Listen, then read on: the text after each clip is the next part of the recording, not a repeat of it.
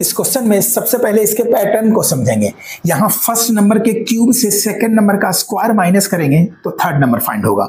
यानी सेवन का cube minus thirteen का स्क्वायर। सेवन का क्यूब होता है थ्री फोर्टी थ्री। सेवन का cube three forty three minus thirteen का स्क्वायर वन सिक्सटी नाइन। और इससे इसको माइनस करेंगे तो वन सेवेंटी फोर फाइंड होगा।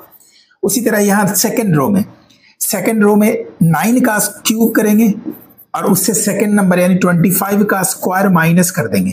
नाइन का क्यूब होता है seven two nine seven two nine minus twenty five का स्क्वायर सिक्स टू फाइव और इसको माइनस करेंगे तो ये वन हंड्रेड फोर आएगा।